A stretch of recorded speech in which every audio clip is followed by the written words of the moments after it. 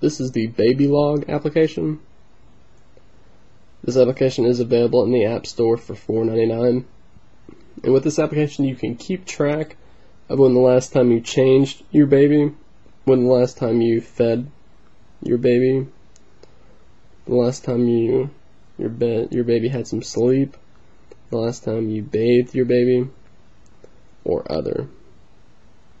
All you have to do is touch any of these whenever you do it. Say you just change the baby's diaper, you just open up the application and hit diaper, and it will record the time for that.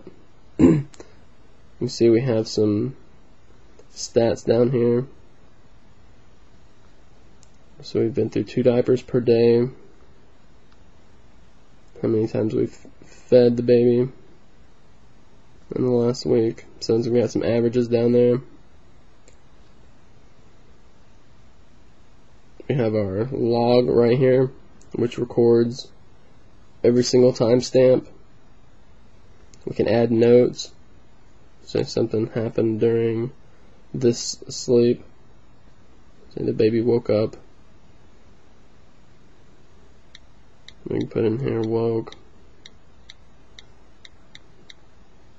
up early and save it. Anytime we can email this log.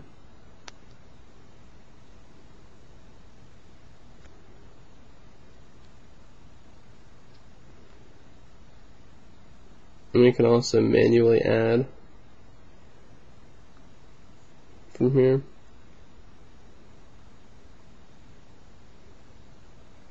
Our setup where we can add the baby name.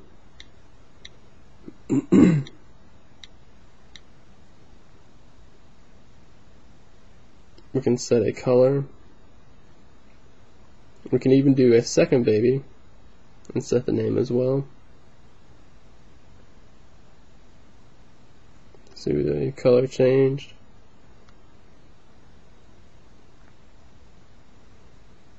And here we have some tips with switching babies, removing the log entry, the stats, email, what kind of what format it's in. We can track on left and right, right breast on feeding on our other in our default values.